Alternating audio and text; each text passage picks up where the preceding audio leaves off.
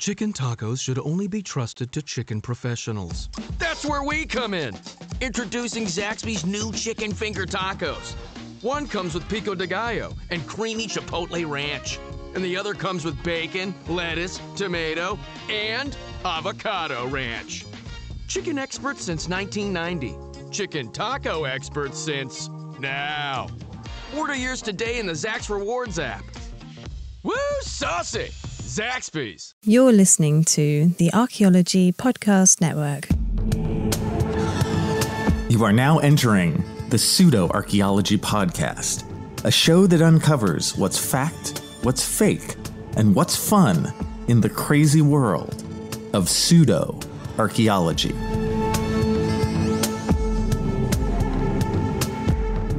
Hello and welcome to the Pseudo Archaeology Podcast, episode 97. And I am your host, Andrew Kinkella. Tonight on our show, we are going to tackle the crystal skull of Belize.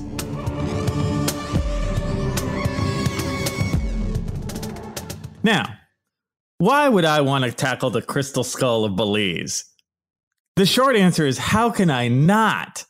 This combines two of my favorite things, which are pseudo archaeology and the country of Belize.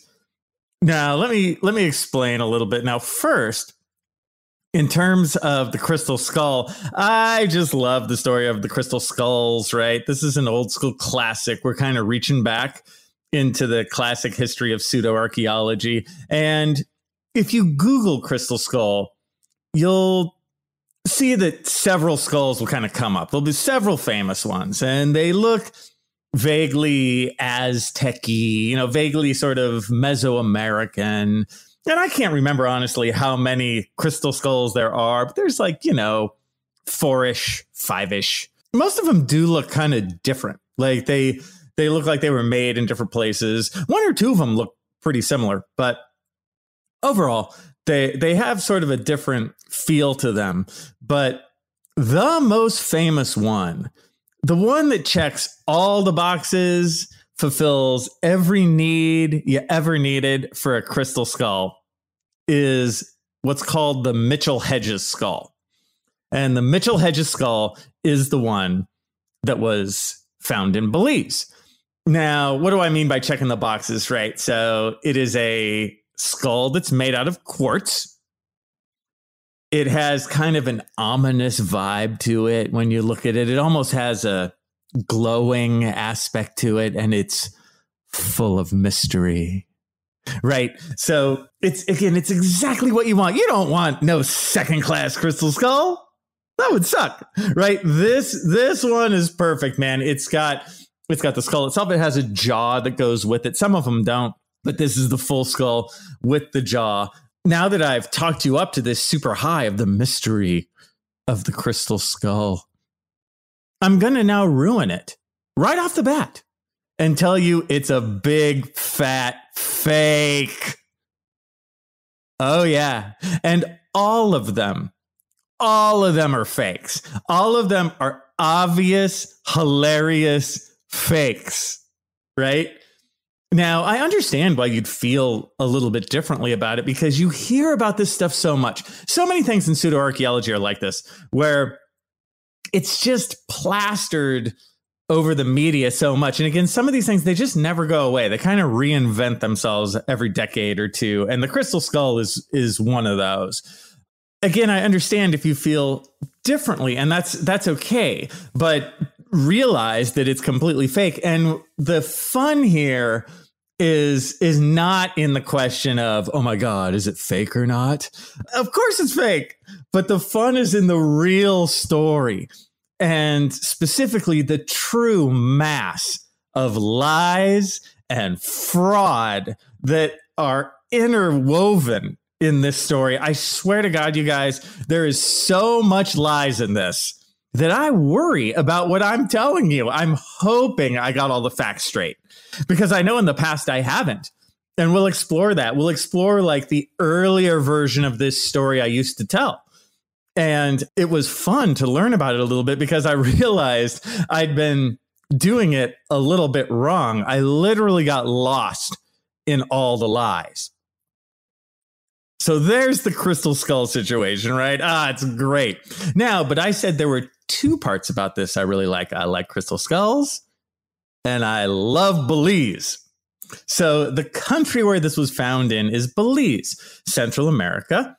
It's just down past Mexico. If you look on the world map and you look at the United States, you look over towards Florida, right below Florida, you'll see the Yucatan Peninsula. That's the big bump on the bottom of Mexico. And on the right hand side of that bump, that's where Belize is. Belize is a small country. It has around ooh, a population of about 400,000 or so. It's about the size of the state of Connecticut. It's pretty small, but it's right there in the Maya heartland. Guatemala is directly to the west of Belize, but it is part of that Maya world. So the reason I know it so well is that's where I did all of my master's thesis and dissertation research. I've spent 17 field seasons in Belize. So I know Belize, right? Belize is a place that I absolutely hold close to my heart. And when I find pseudo archaeology stories that go with Belize, I, I'm the first one with my hand up. You know, I'm like, oh man, I'm telling this one. So, how does Belize work work into this? Well, this story has connections to Britain, and Belize used to be a British colony. It used to be called British Honduras. And actually, Belize achieved its independence only in 1981. Pretty, pretty recent. But even to this day, you see connections to England, right? The Queen is still on the money in Belize, and Belize is part of the Commonwealth. And uh, so you, you will find products from the, the British Commonwealth in Belize, right? Part of that part of that world. Now, Belize not only has the deep jungle where the Maya sites are located, it has very large Maya sites eh, with every cliche that you would like pyramids in the jungle, hard to find, various jungle diseases, all the stuff of every famous adventure story. Belize also has an extremely beautiful coastline. It's on the Caribbean. And there's a bunch of little islands off the coast called the Keys. So if you're working in Belize as an archaeologist, maybe you're in the jungle for a couple weeks and you get a bunch of mosquito bites and stuff, and you're just really hot and sweaty. Maybe you come out for a weekend out to the Keys, out to these little islands where you can get some Caribbean breeze and your mosquito bites heal a little bit. And it's just really, really nice. Belize has the second largest barrier reef in the world. So, those of you who are scuba divers, Belize delivers on all fronts in terms of scuba diving.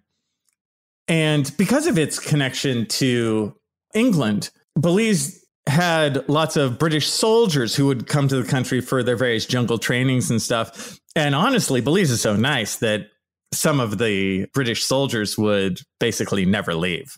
You know, they would get married and settle down in Belize because, hey, they're used to winters in England and they're like, this place is pretty nice. Anyway, Belize forms almost a character that, to this story, right? It's a it's a background. It's kind of the diorama to this. How I heard about this story, how I heard about the crystal skull was decades ago in Belize. You know, we've all heard that in in Belize in in archaeology, right? How I heard the story of the crystal skull goes like this there was an explorer working at the site of Lubantun, the Maya site of Lubantun in 1924. As a sidebar, Lubantun is in southern Belize and even today is a bit far off the beaten path. I mean, you can get there, but I've been to many, many, many archaeology sites in Belize, and I've never been to Lubantun, largely because the travel to southern Belize takes a little extra time. So, just to color this a little bit, in 1924, Lubantun was way far away from just about everything. So we have this explorer, swashbuckler British guy working there in 1924, and he's brought along his adopted daughter. Now, life for a teenager in the jungles of Lubantun after a while might get a little boring. Dad spending his day excavating at the Maya site, and there isn't too much to do. Until the daughter, Anna is her name, finds the crystal skull on her 17th birthday in a tomb of one of the Maya kings and becomes famous. The end. Right. That's how I originally heard this story. That's the setup where the father has obviously, let's figure it out here, has obviously planted this crystal skull for his daughter to find on her 17th birthday just to have a little fun because the dad kind of knows, hey, I know it's getting a little dull around here. Hey, look, a crystal skull. And you can see how he did it. He would plant it and early in the morning, right, wake Anna up and go, hey, Anna, why not come out and help us dig today? Uh, dad, I don't know. I don't want to. Nah, come on, Anna. Right. And go out. Hey, dig a little more to the right, right over there. Ooh, oh my God. Right. You can see how that happens. Now, and then from there, maybe just oh the fake got about a bit out of control right? You know the dad planted this just to have a little fun but then oh people heard about it and it kind of blew up and then he felt too ashamed to tell the truth. It was later found that there was indeed a receipt of the skull that it had actually been purchased in london but hey anna never let it go right? And even years after Anna doubled down on this story that the skull was real. And in fact, Anna lived to be 100 years old and died in 2007. So from 1924 to 2007, Anna gave this story to the world and pushed it and pushed it and pushed it. Now, the story I just told you of how the crystal skull was found is wrong and so, first and foremost, I have to give it a blanket apology to all my students from all the years who I've told this to, because while the setup is vaguely correct, lots of the bits and pieces of this story that I just told you are not right. So, in the next segment, let's clean this up and make some sense of the multi layered lies and deceit that go with the crystal skull of Belize. Shop Plato's Closet tax free August 2nd through 4th for back to school styles. We sell the trendy, gently used styles you need to make a difference in the world and in your wallet for back to school shopping. Save up to 70% off regular retail prices by choosing recycled styles. Save even more when you shop tax free this weekend. Make a change that others can respect and repeat. Shop Plato's Closet in North Charleston and West Ashley this year for your back to school looks. Plato's Closet, located in West Ashley on Sam Rittenberg Boulevard and North Charleston on Rivers Avenue. Chicken tacos should only be trusted to chicken professionals. That's where we come in. Introducing Zaxby's new chicken finger tacos. One comes with pico de gallo and creamy chipotle ranch. And the other comes with bacon, lettuce, tomato, and avocado ranch. Chicken experts since 1990. Chicken taco experts since now. Order yours today in the Zax Rewards app. Woo, saucy! Zaxby's. Hello, and welcome back to episode 97 of the Pseudo Archaeology Podcast. And in the last segment, we were talking about the crystal skull of Belize. And I gave you guys the setup to the story, how basically the idea was it was found at a Maya site called Lubantun in 1924 by the daughter of an explorer, swashbuckler, archaeology guy on her 17th birthday. Now, I had teased to you that that is not precisely correct, and it's not. But how do we figure out what's right? First, we have to take a look at the dad. So, who was this explorer, swashbuckler, archaeology guy? His name was F.A. Mitchell Hedges. Okay. And I guess if you're a super cool swashbuckle guy, you don't go by a full name, you go by F.A right? So that's who he is F.A. F.A. Mitchell Hedges. And as I looked into this guy, I realized that I've seen this caricature lots of times before. I think you could call this guy an adventurer, but really, underneath it all, he's basically a looter, a charlatan, and a ruthless self promoter. Not alone. You know, you get a lot of these guys in the late 1880s, early 1900s, right? And that's right when he's operating. He's doing what he's doing really in the 1920s. He was married in England, right? But he left his wife at home for basically years on end. So they were really just married in name only. F.A. Mitchell Hedges had a life just outside of his wife and outside of his marriage, right? He was known to have multiple affairs and and really the affairs were key for him to continue his looting charlatan life. Because what he would do, he was a attractive looking dude. And what he would do would be, of course, to woo one of the local wealthy women and then use their cash to fund his adventures, right? To fund his trips. And just, you know, just leaving his wife at home, whatever, man. I'm out adventuring. And one, one of the most interesting bits that I learned as I delve deep in here, we tend to talk about his daughter Anna as his adoptive daughter, right? That's the story that you'll see if you read kind of short accounts of this. But the more you look, the chances are that she was actually his real daughter. That Anna was not adopted, but they had to say that because she was born out of wedlock, right? He was just cheating on his wife right and left, and he had a baby. But instead of going, oh, sorry, honey, I had a baby out of wedlock. He instead, in the classic, like narcissistic charlatan way, he was like, you know, out of the goodness of my heart, I found this child and I'm going to give her a home. oh, man. So he lives this life of like, you know, swashbuckling lying, which he puts all together in a autobiography that he writes in 1954. So F.A. Mitchell Hedges is going to die in 1959, but in 1954 he he publishes this autobiography that's called Danger my ally. Yes. And I don't even need to tell you what this is about and how this goes, right? It's just full of like silly cliches and lies. He talks about how he was like a cowboy in the American West. He talks about how he was this like super cool waiter at this awesome restaurant in downtown New Orleans. And he, he oh, he talks about riding with Pancho Villa. Right? You're oh my God. And and of course the theme is gonna be how cool he is and, you know, a life well lived is the only life there is. Right, that kind of thing. And of course, he's going to mix in working at Lubantun in Belize.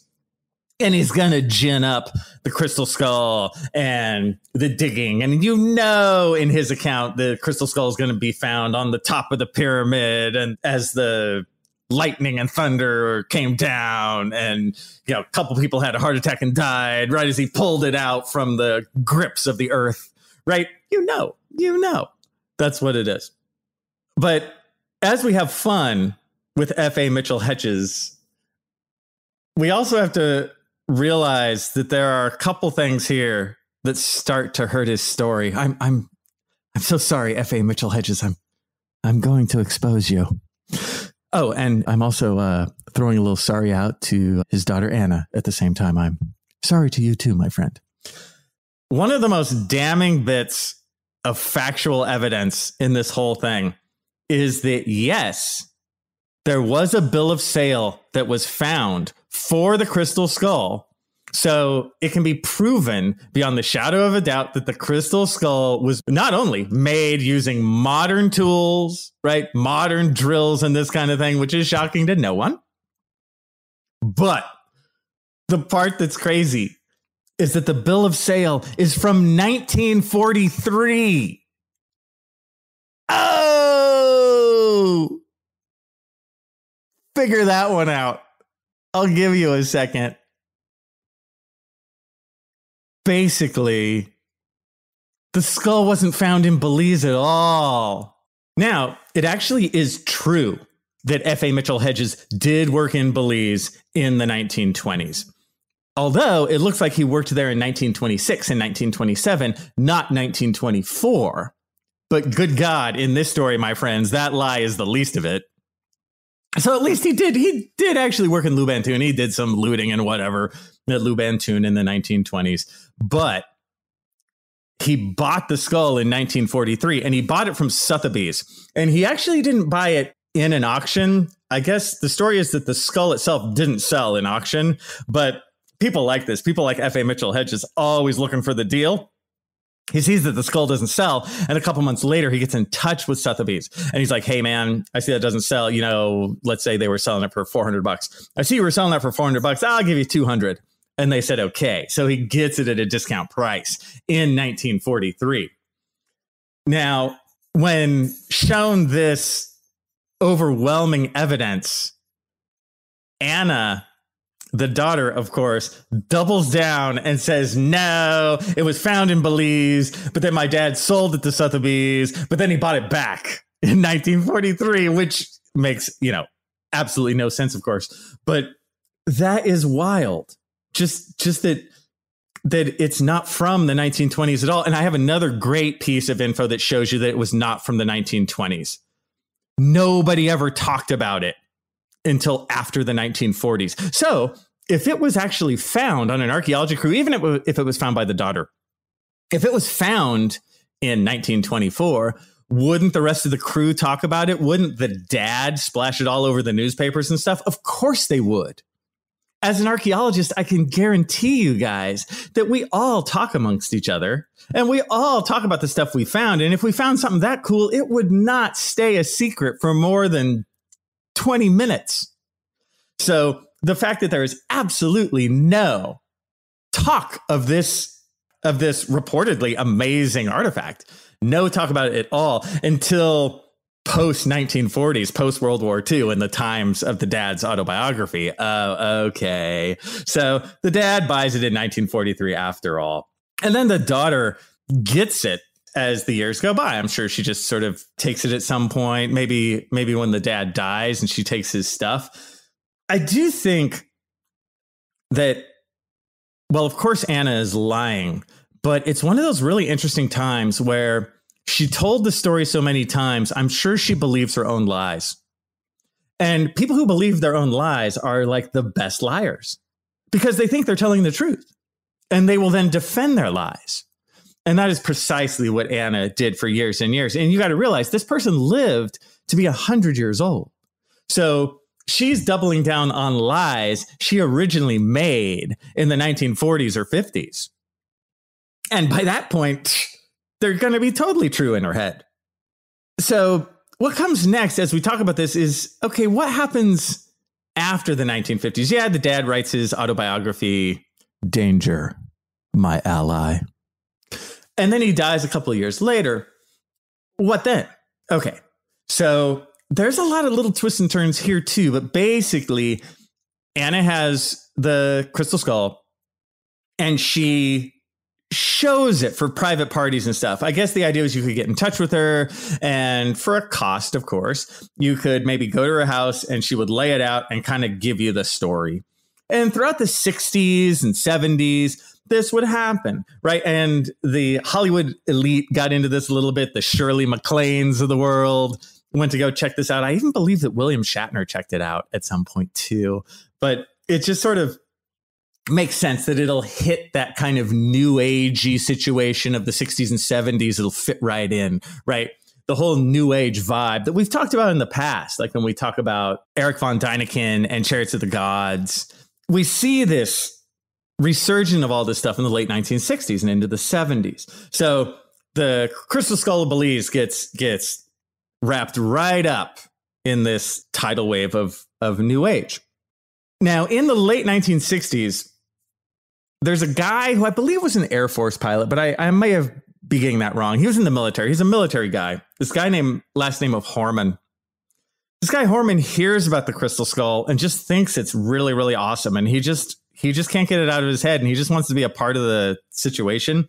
He happens to be 40 years younger than Anna, but he gets in touch with her and they kind of become a team. So they continue to push the story through the 70s and 80s and 90s.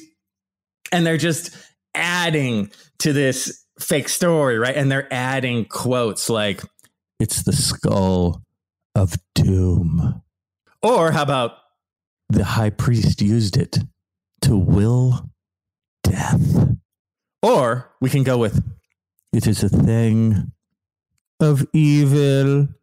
Or one of my favorites, it activates a special part of the brain with its vibration. so when you got this, dude, you got to turn the page, right? So they they push this thing throughout the next several decades. They actually end up getting married, which I, I think happens when Anna was in her 90s, and I think they just did it so that the husband could get the crystal skull, you know, as as part of kind of the marriage settlement after she dies. Really, that's why you still hear about it. The the husband is still alive, I believe, and what has kept this alive is you have three frauds. You have the dad, you have the daughter, and you have the husband that have breathed life into this thing for really the past 80 years, right? And with all of this, how do I think this should all end? What do I want out of this? Well, I'll be back in a minute to tell you.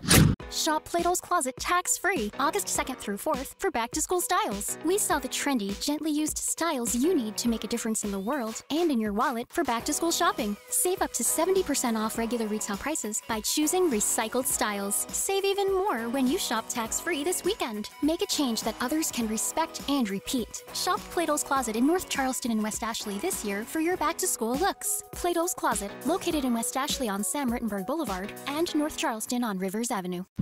Welcome back to the Pseudo Archaeology Podcast, episode 97 The Crystal Skull of Belize. So far, we've talked about the backstory of the Crystal Skull and some more intricate aspects of the history of it and why we still hear about it today. So, with this last segment, I just want to talk about what I want out of this. What does Dr. Andrew Kinkella want out of this to feel satisfied? Well, before I get to that, I have to tell you guys that there's actually even more to the story. We have to remember that in 2008, a little movie came out called Indiana Jones and the Kingdom of the Crystal Skull. Remember that one? I do. I like to think of it as the day my inner child died. But yeah, it comes out and it centers around this kind of crystal skull mythology, right? Which, in terms of a Hollywood movie, I have no problem with an Indiana Jones movie using the crystal skull. I just, I wish the movie was a little better, but I, I have no problem with the backstory. That's fine. That's what Indiana Jones is for, right? I only have a problem with this stuff when it's on the History Channel. Quite different. But so the movie comes out, and you could argue that the movie company is making money off of the crystal skull and the mitchell hedges skull is really the the one with the with the deepest story of all the crystal skulls right? It's the it's the best one. And you could argue that according to anna's original story that the crystal skull was stolen from belize in the 1920s so in 2012 the government of belize sues the mitchell hedges estate basically so they can get the crystal skull back. Right? And they say, look, you're using this stolen artifact from Belize in order to, to profit. And that's not right because we demand what's ours back.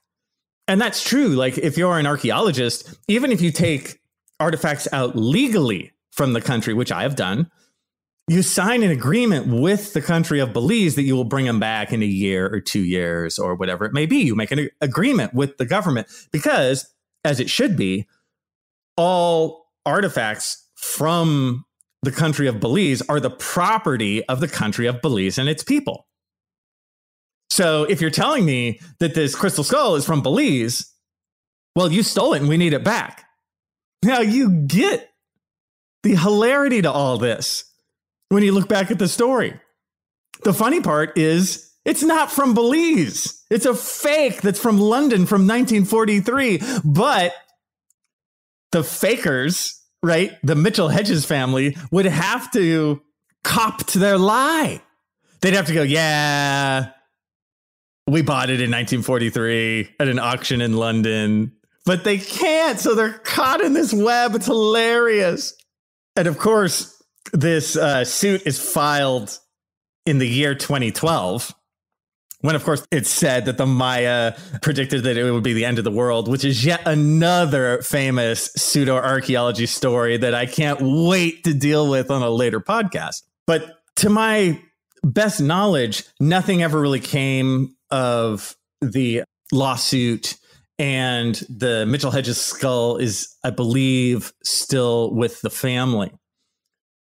So, what do I want out of this? Here's what I want I want the Mitchell Hedges family to be forced to donate the skull to the country of Belize. Totally. I know it's not from Belize, but the world thinks it is. So I think they should give it back to Belize. And then Belize should use the Mitchell Hedges skull as part of a big display in the Belize Museum in Belize City. Belize has an excellent archaeology museum in Belize City. It's actually in the old prison. And you know, the prison itself does have that vibe of like a Caribbean prison from 150 years ago. You know, it's kind of spooky in, in and of itself, but it's an amazing place to visit. So I think they should they take the skull and they put it front row center as an example of famous fakes right? And they do have, Belize has other fake artifacts because they confiscate these things at the border all the time. There's people out there making fakes all the time because if they fake you out, they can make a lot of money on your ignorance, right? So, Belize will find this stuff at the border, like they'll confiscate it. People crossing the border, they'll find it in their luggage, they'll find it on plane flights, right? So, in the back room of the museum, there is a pile of fakes and right now they're just sitting there with nothing happening to them. I've seen them. I've seen the fakes back there. And we have a laugh, you know, as archaeologists. Hey, look at this. Some of them are silly and terrible. And some of them are decently okay, where, yes, if I look at it, I can tell. But a normal person, I, I don't think would be able to. You really have to know your stuff. So I think they should have the crystal skull front row center. They take out all their other fakes to kind of put around it and have this amazing museum display on famous fakes. And then to me, it's the perfect end to the story of the Mitchell Hedges crystal skull, where the dad, the daughter, and the husband can all be poster children of archaeological fakery. And with that, I'll see you guys next time. Thanks for listening to the Pseudo Archaeology Podcast. Please like and subscribe wherever you like and subscribe. And if you have questions for me, Dr. Andrew Kinkella, feel free to reach out using the links below or go to my YouTube channel, Kinkella Teaches Archaeology. See you guys next time. This episode was produced by Chris Webster from his RV traveling the United States, Tristan Boyle in Scotland, DigTech LLC, Culturo Media, and the Archaeology Podcast Network, and was edited by Rachel Roden. This has been a presentation of the Archaeology Podcast Network. Visit us on the web for show notes and other podcasts at www.archpodnet.com. Contact us at chris at archaeologypodcastnetwork.com.